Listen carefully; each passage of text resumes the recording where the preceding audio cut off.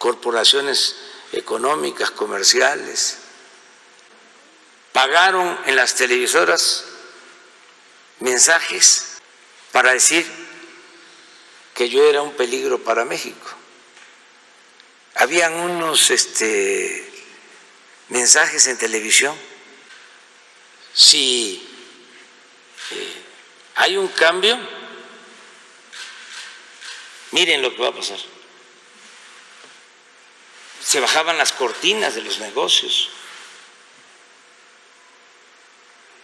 Fuertísimo. Y además